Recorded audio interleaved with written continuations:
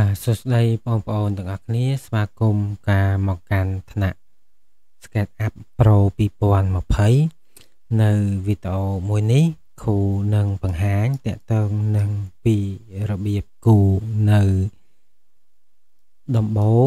លក្ខណៈជាដំបូលកពើហា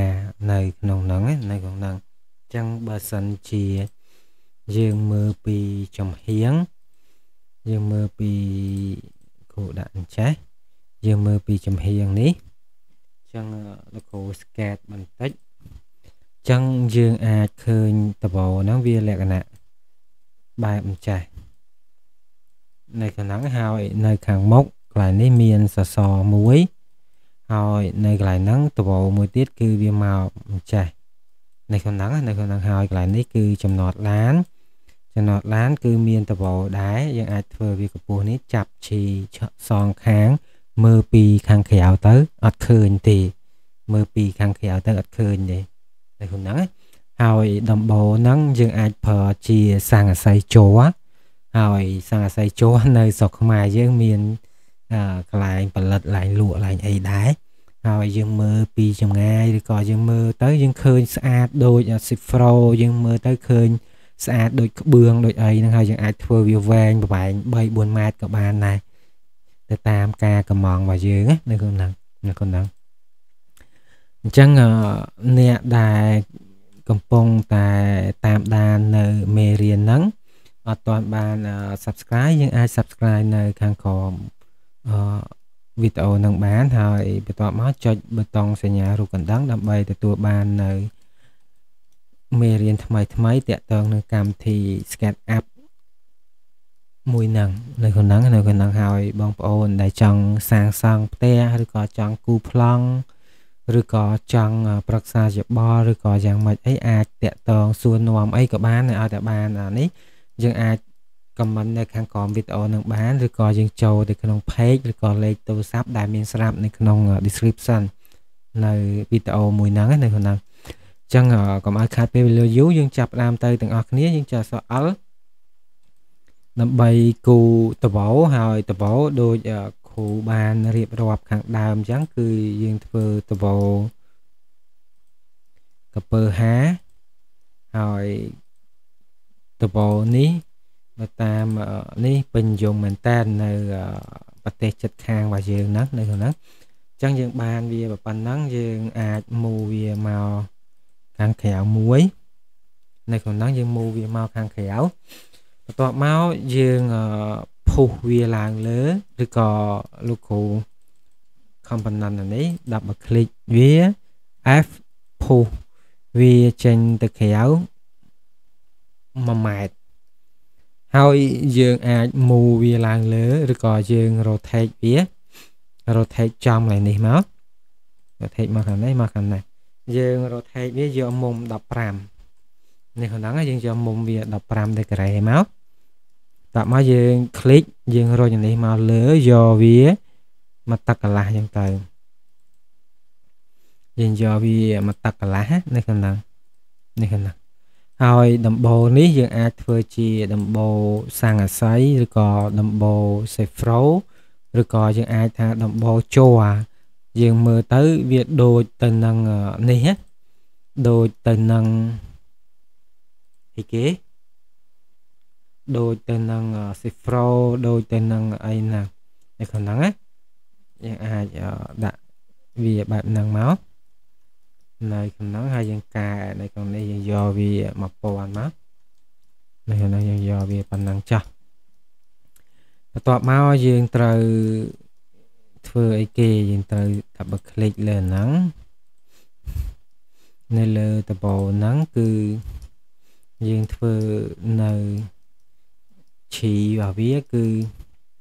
យើងអាចគូនៅកន្លែងនេះយកតែម្ដងទៅយើងយកវា25ទាញមកណាយើងយកវា30ឬក៏យើងយកវា25ដែរនេះ យើងយកវា25នឹងឲ្យទាញវាមកទឹកឬក៏ទាញវាមកក្រោមយក50ហើយយើងប្រឆិតមកខាងនេះយើងចោះក្រោមយកវា25មកខាងនេះយកវា25ដែរ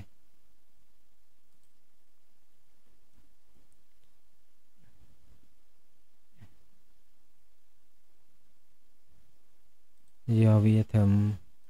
ប៉ុណ្ណឹងមក12ទាញវាមកថងចាស់នៅក្នុងហ្នឹងណាអានេះយើងអាចមូអានេះមកខាងនេះ10ឬក៏5អញ្ចឹងយើងអាច select ទៅលើអាហ្នឹងចូល follow me មកវាទៅនេះអីណា តែលោកគ្រូដាក់នេះបជាតែទាញនេះមកខាងនេះ15ក៏8ឬក៏10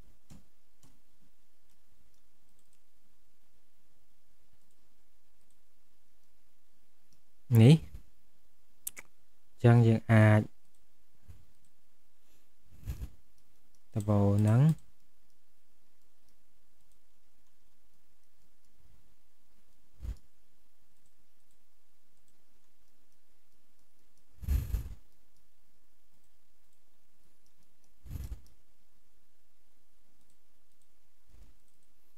បានចឹងមក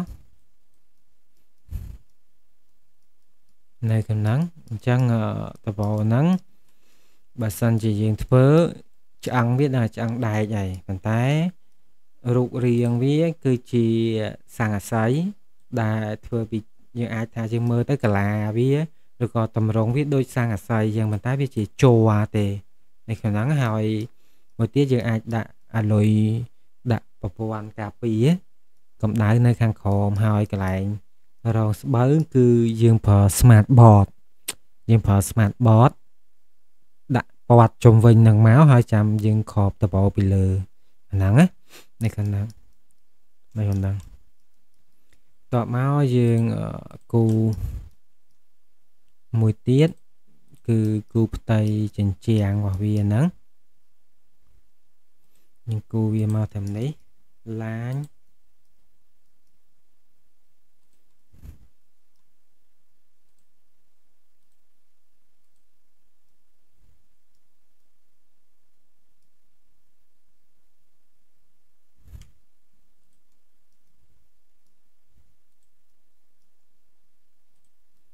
ចឹងយើងអាចដឹង material នៅតបោហ្នឹងគឺសង្កស័យជ័រហើយរងស្បូវយើងធ្វើជា smart board យើង smart board ណាវាមានស្រាប់ស្រាប់ឯនៅលើទីផ្សារអាហ្នឹងហើយ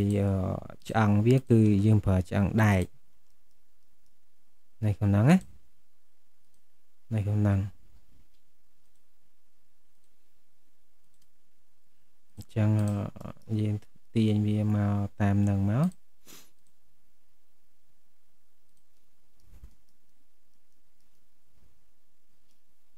នៅក្នុងនោះយើងទាញវាតាមនឹងសិនមក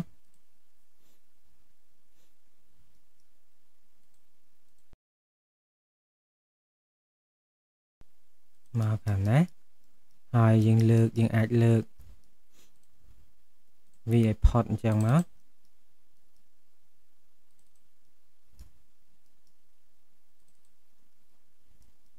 ហើយយើងយកឡាញគូតាមនឹងនេះឡាញគូតាមនឹងមក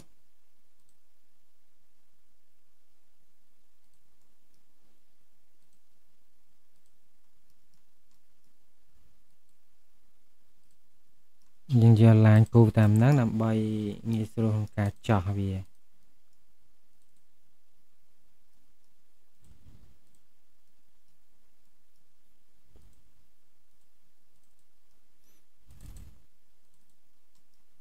ណាំ បើយើងចាស់ដាច់គឺយើងហាយនេះចោលគូ rectangle មួយទៀតយើងភុះវាមកខាងនេះហើយយើងលុប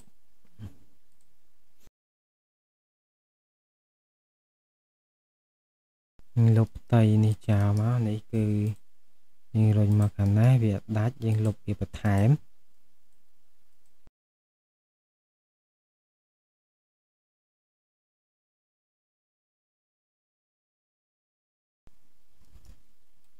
ហ្នឹងហើយយើងបានប៉ុណ្ណឹងហើយគ្រូចូលទៅក្នុង and high all នេះវារៀងខុស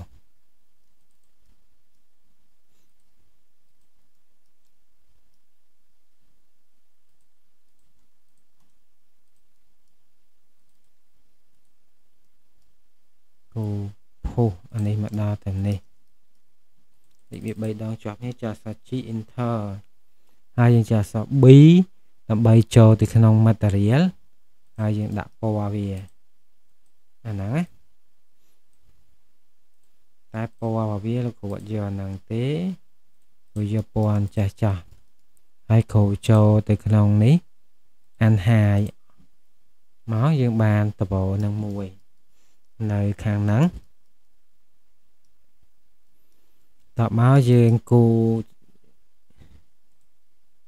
សសនៅកន្លែងនេះคลิกវា3ដងជាប់គ្នា enter អក្សរ G enter ហើយយើង copy វាមកកន្លែងហ្នឹងមកដើម្បីធ្វើនៅសស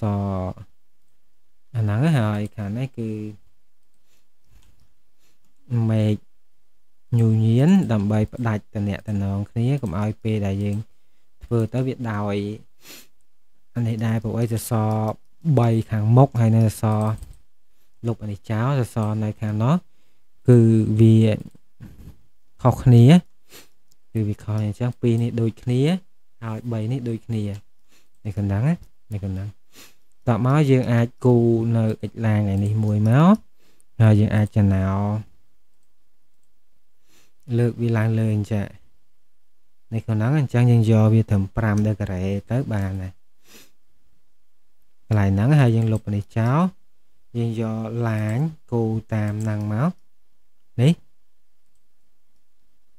ហើយយើងទាញនេះមកកន្លែងនេះទាញហ្នឹងមក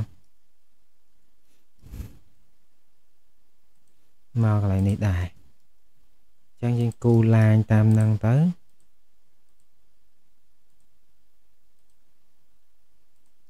នេះចិត្តដែរ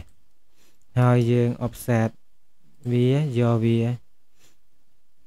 1000លេខវា3ដងចាសាជី enter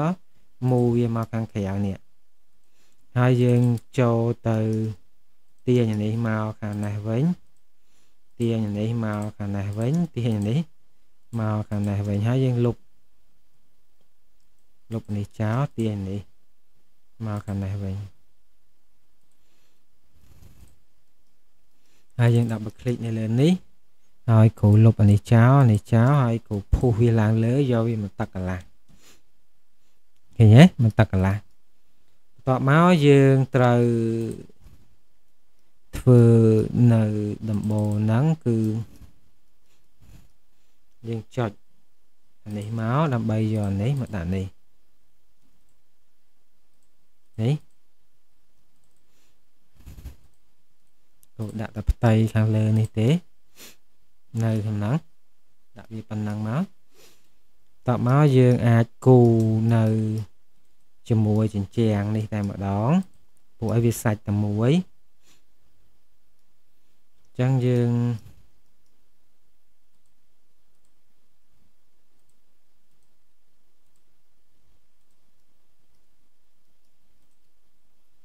រុញទៅខាងនោះពីទឹកទៅ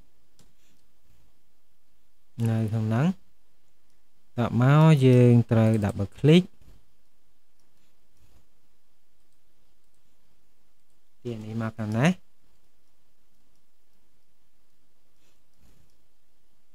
ហើយយើងភុសវាវាដល់ទៅរុញវាដល់មកដល់ត្រឹម ខាងក្នុងនេះហើយយើងយកមកតាមនេះមកអានេះយើងមកខាងលើនេះចំណាវាអញ្ចឹងណាហើយយើងទាញវាមកខាងនេះមកខាងនេះឃើញយើងបានកន្លែងផ្ទៃឡើងហ្នឹងហើយ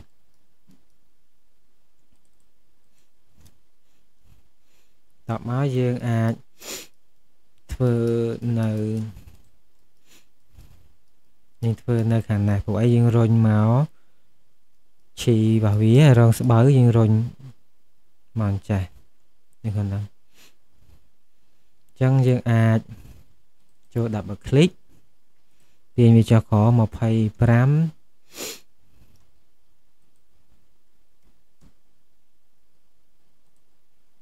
ទាញមកខាងនេះយើងយកវា25ដែររុញចុះក្រោមរុញប្រឆាត់មក25នេះក៏មកតាក់ហ្នឹងទៅយើងយកបែបហ្នឹងមកហើយចាំយើងសេរីវាឡើងមកលើคลิกវាចូលមកក្នុងនេះហើយយើងដាក់ក្បឿងនឹងចូល នេះយើងអត់អាចคลิกទាំងអស់បានទេយើងคลิกតែកន្លែងនេះកន្លែងនេះកន្លែងនេះហើយត្រឹមនេះអេហើយត្រឹមហ្នឹងវាអត់ដល់ផុតទេវាបានតែត្រឹមនេះអេអញ្ចឹងយើងទៅគូយើងចាវាបានខាងណាថាព្រោះឲ្យយើង make component ណានៅក្នុងហ្នឹងអញ្ចឹងយើងคลิกវាពីរដងមកយើងដោះនេះចោល ហើយយើងចូលទៅក្នុង follow me ហើយយើងលុបអាហ្នឹងចោលអាហ្នឹងឈីឡើយហ្នឹងគឺយើងយកចាញ់ពីកន្លែងនេះក៏បានដែរឬក៏យើងខុសត្រូវហេតុតិចតួចយើងគូគូម្ដងទៀតទៅនៅក្នុងហ្នឹងនៅក្នុងហ្នឹង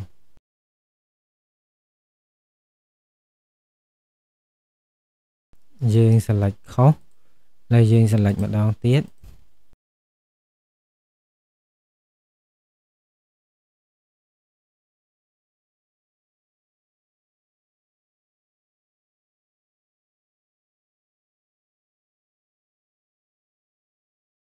នៅក្នុងហ្នឹង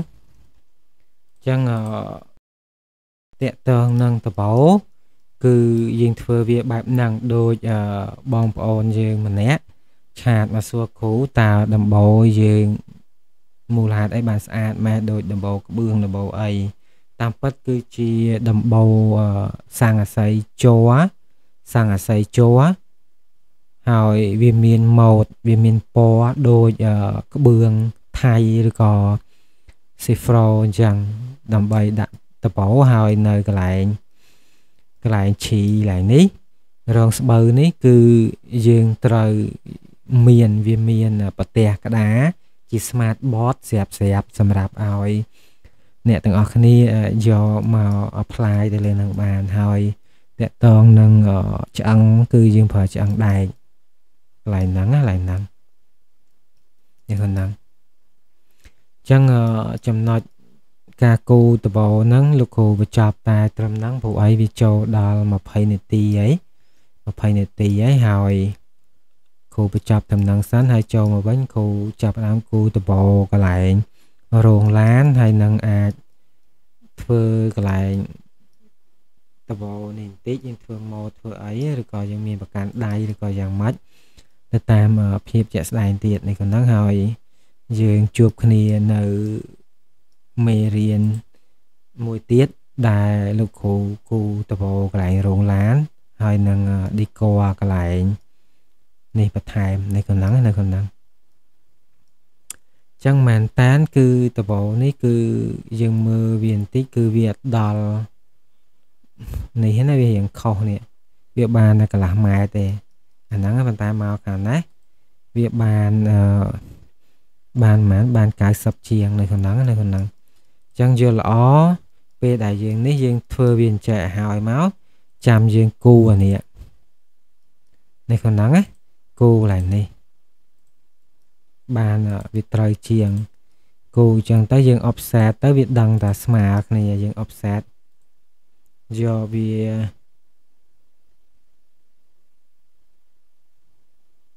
offset យកវា1ម៉ែត្រយ៉ាងមក ឃើញទេចឹងដឹងថាស្មើគ្នា1ម៉ែត្រ4ជ្រុងហើយចាំយើងភុះវាឡើងលើយកមកទឹកកន្លះអាហ្នឹងណាឬក៏យើងយកវាពីទឹកថែម50ទៀតមកអាហ្នឹងនៅក្នុងហ្នឹងចាស G enter នេះហើយខាងមុខនេះគឺវាអត់មានបញ្ហាអីទេព្រោះអីកន្លែងនេះក៏ត្រូវខាងនេះក៏ត្រូវខាងនេះក៏ត្រូវអស់ហើយ នេះប៉ុណ្ណឹងចឹងយើងកែនេះបន្តិចមកជាការស្រាច់អាហ្នឹងហើយយើងអាច select កន្លែងនេះកន្លែងហ្នឹង control C មក double click លើអានេះ control V អញ្ចឹងយើងបានអីគេយើងបាននេះហើយ rotate ហើយគូទាញវាមកខាងនេះវិញមិនត្រូវឡើយហ្នឹងហើយអានេះគឺលោកគ្រូលុបពីចោលហើយ click វាហើយ follow me ផ្លឹបចេញមកនេះឃើញអត់ចឹងយើងកែឡើងនឹងបន្តិចព្រោះអីតើពេលដែលយើង offset មុន rotate គឺវាខុស offset មុន rotate គឺផ្ទៃនេះវាស្មើគ្នានៅក្នុងហ្នឹងណា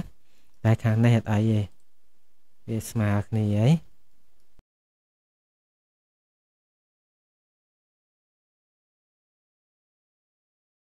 តបោកន្លែងចំណតឡាននៅក្នុងនៅក្នុងហើយអ្នកដែលអត់ទាន់បាន Subscribe យើង Subscribe មួយផងហើយអ្នកដែលអត់ទាន់បានចុចប៊ូតុងសញ្ញារូបកណ្ដឹងក៏អាចចុចដែរនៅក្នុងហ្នឹង ហើយមេរៀនទាំងអស់ហ្នឹងយើងអាចចែកម្លែកទៅមិត្តភ័ក្តិយើងបាននៅក្នុងហ្នឹងយើងអាចចែកម្លែកទៅមិត្តភ័ក្តិយើងបានហើយជាពិសេសបងប្អូនទាំងអស់គ្នាបើសិនជាត្រូវការសាងសង់ផ្ទះឬក៏ត្រូវការឌីក័រផ្ទះឌីក័រអីអាចតាក់ទងមកក្រុមការងារយើងបាន ដោយយើងចូលទៅក្នុង description ខាងក្រោមវីដេអូនៅខាងក្រោមវីដេអូនឹងមានលេខទូរស័ព្ទឬក៏ page អាចតាក់ទងមកផ្ទាល់បាននៅក្នុងហ្នឹងនៅក្នុងហ្នឹងចឹងគ្រូបញ្ចប់តែត្រឹមហ្នឹងសិនហើយជួបគ្នានៅវីដេអូបន្តទៀត